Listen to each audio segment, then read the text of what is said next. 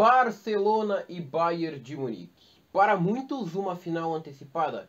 Para outros, apenas mais um grande espetáculo da UEFA Champions League. Para o Bayern de Munique, somente um jogo treino.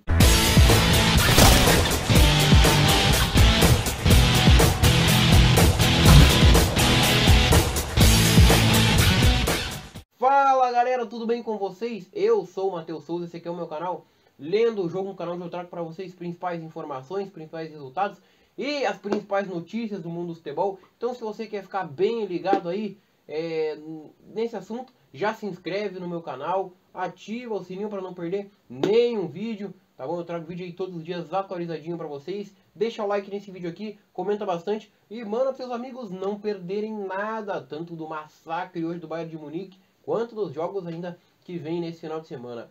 Tá bom? Me segue aqui nas redes sociais para ficar por dentro de mais informações e para me dar uma ajuda. Que nós vamos para o vídeo de hoje e não tem como não começar falando de UEFA Champions League, tá bom? Hoje então, mais uma quarta de final de UEFA Champions League. A princípio, um jogaço entre dois timaços, né? No Estádio da Luz, estádio aí que pertence ao Benfica, Barcelona e Bayern de Munique, duas grandes equipes que, claro, a gente via nessa temporada uma superioridade do Bayern de Munique, porém a gente sabe que o campeonato alemão não, não é mais fácil, mas é um pouco menos difícil do que o campeonato espanhol, né? um pouco menos competitivo. E realmente a gente esperava um jogo equilibrado. Não foi nada disso que aconteceu. O Bayern de Munique começou agressivo, indo para cima, atacando em massa como a gente viu aí, os bávaros a temporada inteira após o Flick ter assumido. E surtiu efeito. Com 10 minutos de jogo, os alemães já abriram o placar e fizeram 1 a 0. Mas, um lance depois, o Barcelona foi para cima. E numa bola cruzada para a área, o Alaba, que estava aí hoje jogando de zagueiro, desviou e encobriu o Neuer sem chance nenhuma para o goleirão, né? Para muitos, é uma uma grande prova de que aquele jogo seria realmente espetacular. Porém, o que eu acredito é que o Barcelona apenas teve sorte naquele lance. Porque depois o Bayern fez 2 a 1 fez o terceiro e ainda no primeiro tempo aumentou para 4 a 1 um passeio dos alemães. Tá bom? No segundo tempo, o Barcelona do Kiksetin colocou o Griezmann em campo, veio um pouco mais esperançoso, né? e até menos desorganizado no começo, conseguiu um gol, um belo gol do Soares, né? Porém, foi apenas isso. Depois, o Barcelona se perdeu mais uma vez em campo. Levou o sexto gol e aí a coisa começou... Perdão, levou o quinto primeiramente, né? Levou o quinto gol e a coisa começou realmente a ficar feia demais. O Barcelona entregou a rapadura. Aí veio o sexto gol e para fechar, o brasileiro Felipe Coutinho, que pertence ao Barcelona, fez dois gols aí no seu clube também. Ele, ele joga na Bayern de Munique, né? Mas pertence ao Barcelona. Entrou no final e anotou dois gols final de partida. Dois para o Barcelona, oito para o Bayern de Munique. Mais um passeio histórico dos alemães. Que jogo do Bayern de Munique realmente se destacou tanto defensivamente quanto ofensivamente. Quanto o Barcelona realmente perdido, a coisa tá feia para o Barcelona após a partida. O técnico Kik Setin já foi demitido e os, o clima tá ficando bem quente realmente para o time catalão. O Piquet deu uma entrevista no final do jogo dizendo que chegaram no fundo do poço, se ofereceu para sair do clube. Lionel Messi a gente sabe que está para sair do Barcelona, não é nada confirmado, mas realmente se continuar do jeito que está, é, esta goleada vai ter grandes consequências para o clube catalão. Tá ok? Então é isso. Bayern de Munique merecidamente, não só por esse jogo, mas por toda a temporada, está nas semifinais da UEFA Champions League, tá bom? Vai enfrentar o vencedor do jogo de amanhã, partida 4 horas da tarde também, entre Manchester City e Lyon, tá bom? Manchester City, é claro, vem mais forte, na minha opinião, tem um melhor elenco, mas é Champions, meus amigos, não se pode duvidar de nada. Lembrando que o Lyon tirou a Juventus de Cristiano Ronaldo então, tem que ficar ligado nesse jogo aí, Manchester City e Lyon. Será aí que o Gabriel Jesus conseguirá chegar à semifinal? Aí teremos é, mais, mais brasileiros na semifinal, né? Já temos aí o, o Neymar e o Marquinhos pelo Paris Saint-Germain. Aí hoje o Felipe Coutinho e o Thiago Alcântara, que querendo ou não é brasileiro também, né? E agora então podendo chegar o Gabriel Jesus, porém do outro lado, no Lyon também tem brasileiro em Bruno Guimarães e no banco tem o Thiago Mendes ainda, hein? Vai ser realmente um jogo muito bom para fechar as quartas de final. Manchester City e Lyon vocês não podem perder. Tá ok? Vamos virar chave, vamos vir aqui para o Brasil, que está em andamento aí o seu principal campeonato, campeonato brasileiro. O Brasileirão começou na última semana e nesse final de semana já tem a sua terceira rodada, tá bom? Amanhã três jogos para abrir essa rodada aí. Sete horas da noite na Arena do Grêmio. O Grêmio que está invicto nesse campeonato brasileiro recebe o Corinthians que estreou na última quarta-feira. Teve um apagão em 10 minutos e perdeu a partida, né? Tá zerado aí o Corinthians.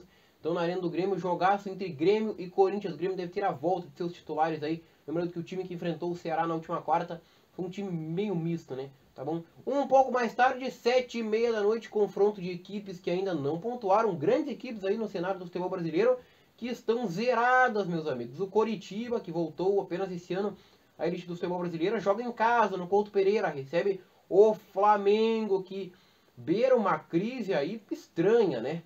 O clube que conquistou tudo no ano passado, após a saída do Jorge Jesus, trouxe o Dominic Torrente, e ele tá com dois jogos aí, duas derrotas, né? Uma derrota cachapante para o Atlético Goianiense, outro clube que voltou aí do futebol brasileiro. Realmente tá ficando feio aí os bastidores ali no Flamengo, tá bom?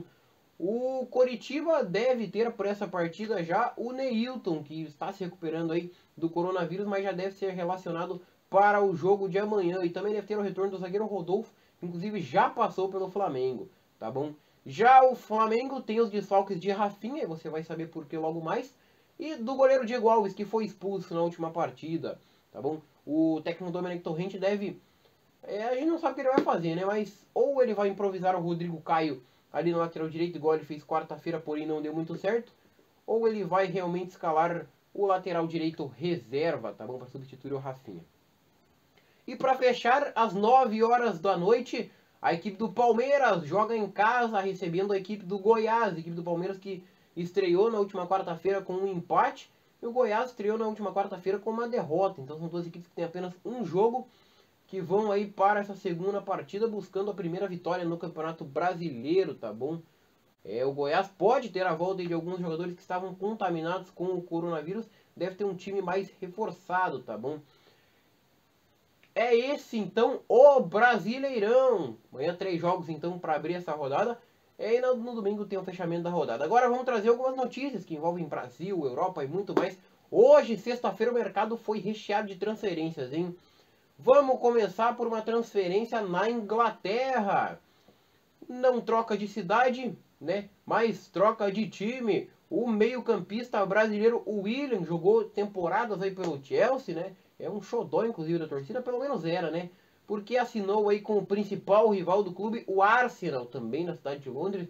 Então o William chega aí aos Gunners, disputarão a Europa League aí na próxima temporada, tá ok? Desejamos boa sorte aí ao brasileiro, assim como ele já fez uma boa passagem pelo Chelsea, que ele faça uma boa passagem também pelo Arsenal, tá bom?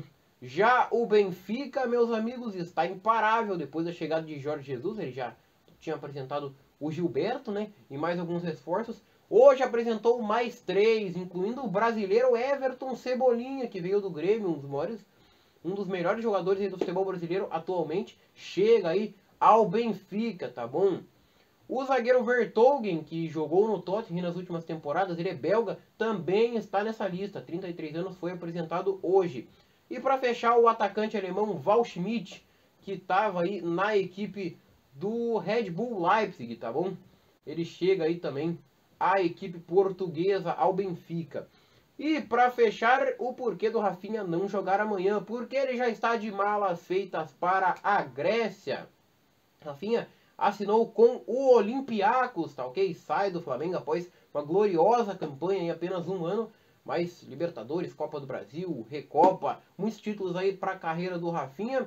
Ele então volta à Europa, onde defendeu o Schalke 04, o Bayern de Munique. Agora vai defender o Olympiacos da Grécia, tá ok? Ufa, é isso então de transferência. Olha quantas, hein? É isso então que eu tinha que trazer para vocês hoje, tá bom? Eu espero que vocês tenham gostado desse vídeo. Se gostaram, se inscreve no meu canal, ativa o sininho, porque amanhã eu volto com um vídeo novo. Tá bom? Contando o que aconteceu no último confronto de quartas de final da UEFA Champions League.